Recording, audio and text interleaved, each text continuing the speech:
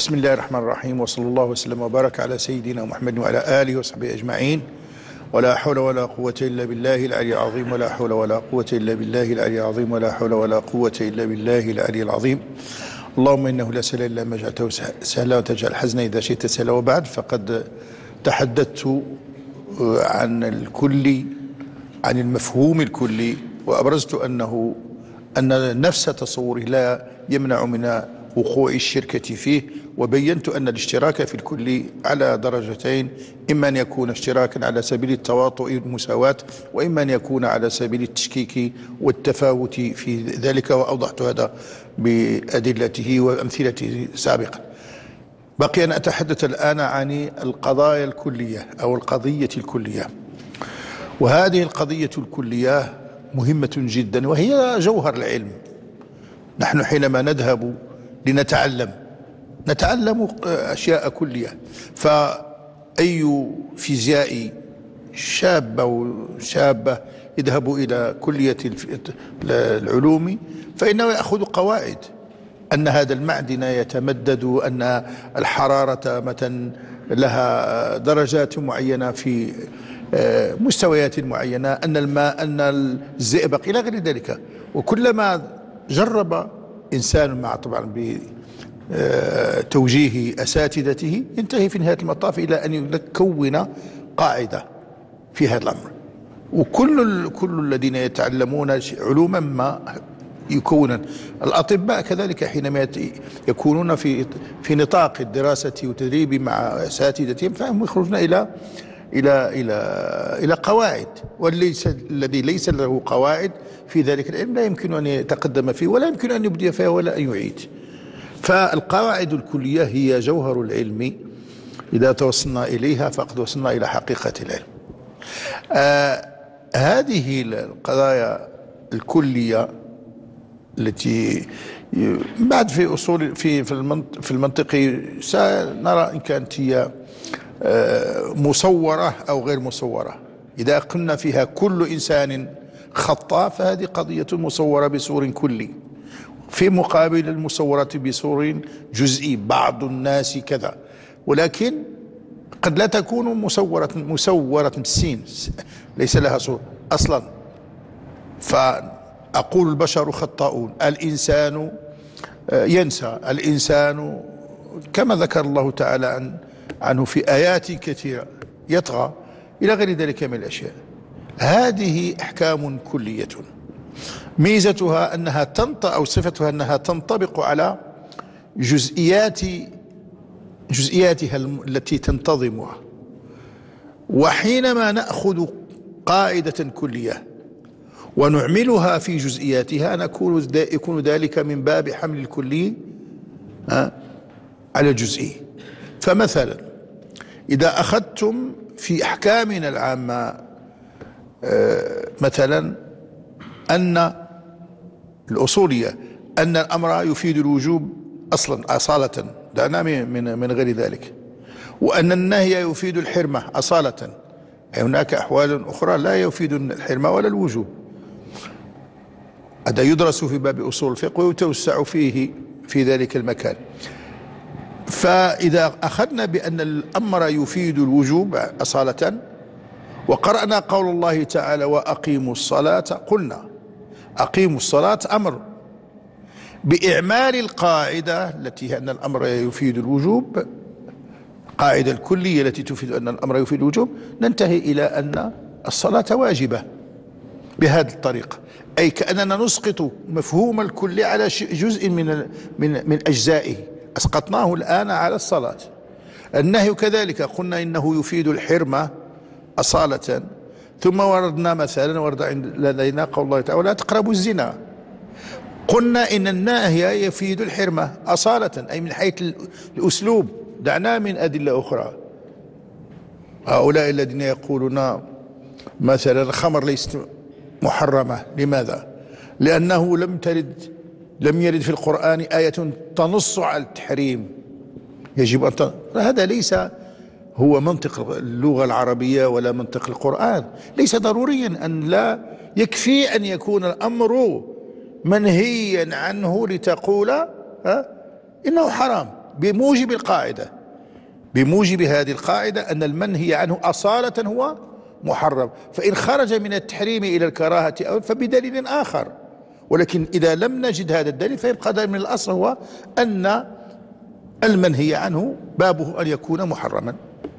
ولكن الذين يقولون نشترط قلتم لا لا تشترطون على الله لا تشترطون على الأسلوب القرآني أنت تتعلم. لا لا هذا يقول أنا لا أؤمن بأن الخمر حرام حتى أجد في القرآن أن أنها محرمة. هذا الاشتراط هو الذي ننازعك فيه. فكل ما ليس محرما انت عندك يولي حلال ما غاديش يبقى خاص الخمر. هذا يخصي واحد العدد المحرمات نهينا عنها. ولا تقربوا مال اليتيم. إذا ماشي محرم. ها؟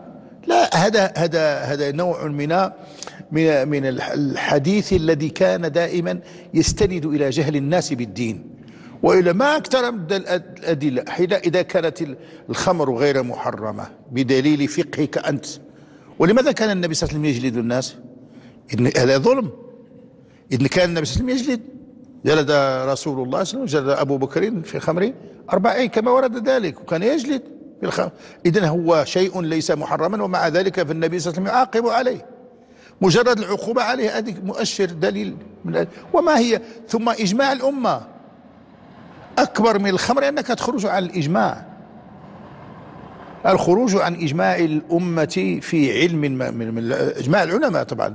هو هو شذوذ وانفراد. وغير مأذون به. ومن يشاقق الرسول من بعد ما تبين له الهدى ويتبع غير سبيل المؤمنين نوله ما تولى ونصله. هذا أكثر من الخمر. ما ورد في خروجه عن إجماع الأمة أكثر من الخمر قل إنما حرم ربي يزيد. الفواحش ما ظهر منها وما بطن زيد. ها؟ والإثم. إيه. وش يقول في. في. في, في, في يسألونك عن الخمر؟ والميسر يقول فيهما؟ هما جوج آيات تلاقاهم تبرأ إثم الإثم. هنا سماها إثم ولهنا قال لك حرم الإثم. واش بغيت عاد أكثر باغي تشرب وصف أنا غير نقول لكم كيف نناقش هؤلاء. هذا والآن هناك من يكتب فيه ويعتبر بأنه جاء بجديد وأنه مستنير. ما عندك والو ما تعرف والو. راك خارج راك الخط. لأن كل الحجج لا تساعدك ليس لك شيء إلا أنك اشترطت أن يكون هذا محرما ونحن ليس عندنا في شريعتنا أن الشيء لا يحرم حتى يقول الله عنه ذلك أبدا. نحن نتابع أسلوب القرآن في, في, في, التحليل وفي التحريم ونفهم خطاب الله تعالى كما فهمه العلماء لا كما فهمه الذين أرادوا أن يصلوا إلى نتائج فأصبحوا يطوعون النصوص لأهدافهم ولأغراضهم. هؤلاء ليسوا من أهل التشريع مطلقا. دليل على هذا أن هذا لم يكن من كلام العلماء. باش تعرفوا بلك إذا وجدتم شيئا يقال به الآن خذوا هذا. ولم تقل به الأمة عرفوا بأنه ليس سليما. لماذا؟ منطقيا ليس سليما لأن لا نفترض أن مئات الآلاف يخطئون ويصيب شخص واحد ليس من أهل الاختصاص. مطلقا. شحال عندك ديال العلماء؟ مروا. مالك الشافعي وكذا ملايين العلماء مروا وثبتوا وقرروا كلهم كانوا مخطئين مخطئين تجاه هذا الإنسان واحد وليس من ليس من أهل هذه هذا منطق مهترئ. بعيد هذا بعيد. بعيد جدا أن يأتي شخص إلا إذا كان الإنسان لا يعرف ما يقول. ولذا تسمعون بعض المرات شي كلمات من هذا القبيل وأنا سأقول لكم أنا هذا غير تقول وإني لا آت بما لم ها الأوائل. صلى شوية وتبت ولأمة لا يمكن أن تتفق على ضلال أو على خطأ بهذا. وكانت تناقش وكان فيها أذكياء وعلماء ولم يكن أحد يسلم الآخر. ومع ذلك فهذه اتفاقاتهم وإجماعاتهم على أساس أن هذا الأمر واجب أن هذا حرام أن ما كانش المسلمين يوصلوا إلى درجة أن يقول الواحد منهم بحلية الخمر ابدا. اللي كانوا علماء على كل. إذن فالقاعده كما قلت تنطبق على هذه على أفرادها بهذه الطريقة وتبقى هذه الكلية دائما هي المفيدة. هذه الكليات هذه الكليات مفيدة جدا في اختصار المعرفة وفي ضبط المعرفة. نحن ندرس كل علم من العلوم و نقرأ منه جزئيات جزئيات معينة جزئيات في الفقه جزئيات في النحو جزئيات.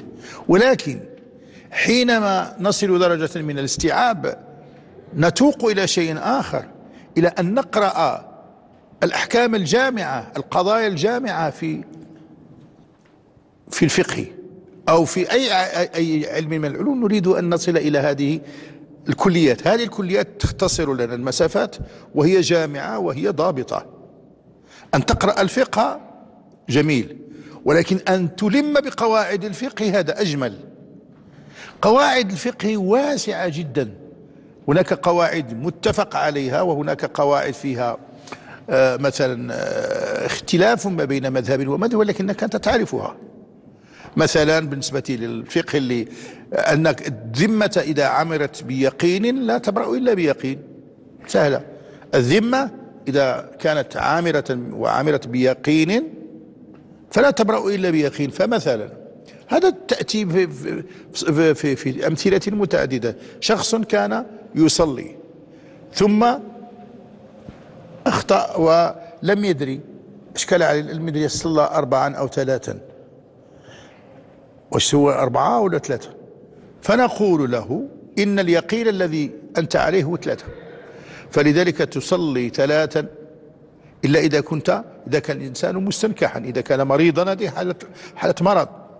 دائما إذا قال أربعة ولا ثلاثة قلت ثلاثة لأن هذا يقين. ويبقى على اليقين ويتم يلغي من ذهنه فكرة الرابعة ما ما ما أو الثانية أو الثالثة كذلك. يبقى دائما ما هو يقين. كذلك إذا كان يطوف وأشكال عليه أو لم يعرف عدد الأشواط التي التي طافها فيأخذ بما هو يقين. أنا ضربت ثلاثة ولا أربعة ديال الأشواط أشواط دير ثلاثة. وكمل. لماذا؟ لأنك أنت مستيقن من ثلاثة وأنت لست مستيقنا من الرابعة وهذه الرابعة لا يمكن أن تحل محل اليقين فأبقى على يقينك إلا إذا كان الإنسان مريضا. قلت هذه حالة أخرى حالة المرض ماشي حالة الفقه. لذلك المستنكح دائما في, في, في قلت ثلاثة ولا أربعة يبني على الأعلى لأنه مريض وحينئذ وهذا وهذا لاحظوها أنتم كفقهاء. يجب أن تأخذوا بهذا لأن هذا باب من أبواب الوسوسة. وبعض المرات يأتيكم ناس خصوصا من الشباب يقع يعتريهم الوسواس في الوضوء وفي الصلاة وفي كذا ويجيو عندكم خصوصا الشباب. ربما لتشددهم أو كذا فيقول لك أنا راني ما نعرفش نتوضأ وكذا يبدو لي بأن دائما قول له زيد الأمام ما ترجعش للوراء ولذلك النبي صلى الله عليه وسلم كان يعالج هذا كان إذا اذا كان الإنسان في بعض المرات يتوهم أنه أصاب ثوبه ببول مثلا وهذا دائما فلذلك يؤمر بأن يأخذ حفنة من ماء ويلقيها على ثوبه حتى لا يعرف لأنه الإنسان لما يكون في يستنجي وكذا لا شك أن شيئا من الماء يصيب بدنه ويترك أثرا الماء. فهو يتصور أنه نجاسة وليس ماء ولكن إذا دخل في هذه الدوامة لا يمكن يمكن الإنسان ليؤدي صلاة واحدة يمكن يبقى نص نهار. والوسوسة في الحقيقة تؤدي إلى انقطاع قطعا الإنسان إذا أصابه الوسواس هذاك مرض. لذلك لا نذهب به إلى ذلك فنعالجه نقول له آه ثلاثة ولا أربعة ثلاثة. جوج لا ثلاثة. إذا كان مستنكح نقول دائما بالأعلى أربعة. ثلاثة باش نخرجوه من الواء وطمع لما يرجع غادي هو من بعد يتبع حسابه في الأيام الأخرى. آه لأن هذه هذه قاعدة قاعدة اليقين. لا إذا كانت الذمة عمرت بيقين فلا تبرأ إلا بيقين واليقين رحنا فيه. هناك قواعد أخرى في كل ال كل ال كل ال كل المعاملات أو كل العقود التي تنتهي إلى الاختصام فإن الشرع لا لا لا يأذن بها. أي ما من بيوع أو عقود تنتهي إلى الخصومة فالشرع ينهى. مثلا أي حاجة بيع مثلا بيع الطعام مثلا أو الثمر قبل بدو صلاحه. لماذا منع الشرع أن منع بيع الثمار؟ قبل بدو لأنها يعتريها شيء تصيبها جوائح وحينئذ لا بد أن تبدأ الخصومة وبأن هذا يقول له فلان مشاو لي فلوسي ويقول لا سيدي فلذلك دائما ننتظر بدو صلاح الثمار ليكون الأمر لأن الثمار تبيعها وهي في بداية الأمر زهرة وردة وتبيعها أنت. وتأتي عليه بحال مثل هذه السنة دي جات جوائح وجات كذا مشى كل شيء. ما كان الناس يؤملونه ولم يحصل فكثير من من الثمار الآن لم لم تدرك. لذلك ضاع وإذا كان سبقت بيوع تكون يكون إفلاس. هناك من يشتري بأثمنة كبيرة جدا. مجرد الأشياء تكون تزهر فيشتري الناس مثلا حبوب الثمار الزيتون ولا كذا ولا ولا الفواكه البرتقال كذا. ولكن بعد ذلك تأتي هذه المفاجآت فيقع تقع الخصومات أو يقع الإفلاس. وكان شي واحد يكون شرا كاع داك الشيء كل شيء خلصوا. ومباشرة غدا يولي هو يطلب غدا يبقى في السوق. لذلك كل هذه الأشياء التي تنتهي إلى الإفلاس إلى الخصومة فإن الشرع لا يأذن بها. وكل مع هذه قاعدة. وكل غرر لا يجو لا يمكن تفاديه فالشرع يسمح به. أي نحن لا دائما نشترط عدم الغرر. ولكن هناك غرر ملازم للأشياء. لا الشرع يسمح به. مثلا أنت تشتري دارا منزلا وتحاول أنك تعرف كذا ولكن باقي فيها الغرر. ما هو عمق الأساسات؟ مثلا لا تستطيع أن تعرف ذلك. هناك تشتري بعض المرات ثمار. تشتري واحد بطيخة كبيرة باعوها لك وتديها تجبرها صامتة. ما ما هذا غرر. مع ذلك لا نقول بأن هذا البيع حرام لأنه لا يمكن تفاديه. هو هكذا بطبيعة كذلك بالنسبة ل بعض الأشياء التي لا تقوم. مثلا الحمام واحد يدخل الحمام واحد يدخل ويخرج واحد يدخل يقعد تما ساعتين. ماشي بحال بحال. كم يستهلك هذا من الماء وكم يستهلك ذاك على الأقل على طريقتنا ماذا ما بالنسبة للمؤسسات الأخرى الآن أصبحت كل شيء مضبوط بالساعة. على كل الغرر دائما موجود. نوع من الغرر. الغرر الذي يمكن تفاديه يزول. والذي لا يجوز الذي لا يمكن تفاديه لأنه ملازم فهذا الشرع يسمح به لأن الشرع لا يعنت الناس. وهكذا. فهناك قواعد متعددة في هذا الجانب وهو الجانب الفقهي. آه هذه القواعد لا كنت ممكن أسرد مجموعة كبيرة وأنا فقط أحيلكم على كتب القواعد وأنبهكم إلى ضرورة النظر فيها وإلى قراءتها لأنها جامعة وحاصرة وتساعد الإنسان على